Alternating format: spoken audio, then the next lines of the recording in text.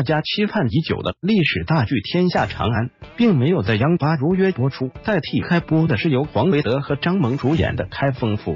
本想着能在央视平台播出肯定不差，然而看了几集有点一言难尽。这个瞪眼如张飞的黑大哥是假的包拯吧？电视剧为了有看点丰富，又不跟之前同类型作品重复太多，剧情改编就是必要的了。包拯的出身本剧选择了由哥嫂养大的这个版本，民间传说和舞台戏剧都有这个说法的，具体情节就不多剧透了。而家喻户晓的狸猫换太子事件改编幅度有点大，原本讲的是宋宋真宗的刘妃因极怕同时怀孕的李宸妃生下皇子，就某同内奸郭槐用包皮狸猫换了李宸妃的孩子。本剧改成是宋真宗自己换的，因为他前面五个儿子都不知被谁暗害，再加上这个孩子出生时天狗十月视为不祥，于是皇帝就跟八王爷一起先用狸猫换了孩子，说是要骗过天象，想法很奇特。同时偷偷送出宫去养，然后又找了个假儿子放宫里，想引出在背后谋害皇子的人。看样子是按照后宫争斗谋害皇嗣的复杂方向改的。小时候的包拯还是很可爱的，黑是黑了点，但是不乏童真的单纯可爱。小包拯起初就傻到不会算数，他是被坏女人推到井里摔聪明的，额头上的疤痕恰遇天象。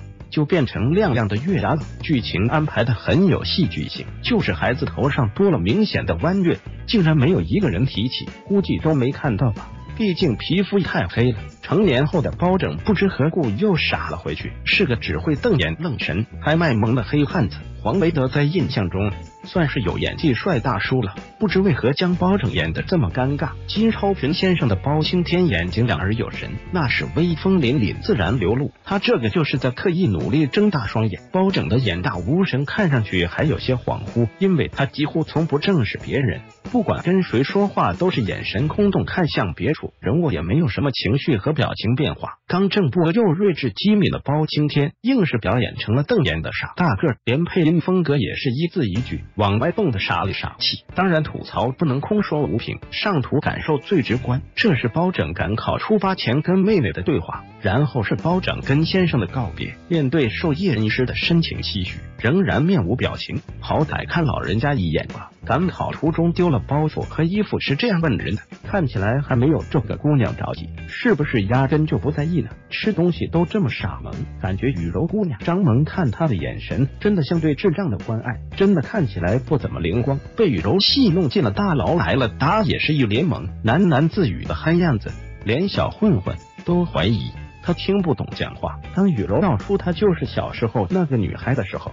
包拯总算露出了张嘴的讶异神情，看来漂亮姑娘的冲击还是最强的。等到了京城，面对青楼女子的戏弄，还有再次被连累挨打的包拯。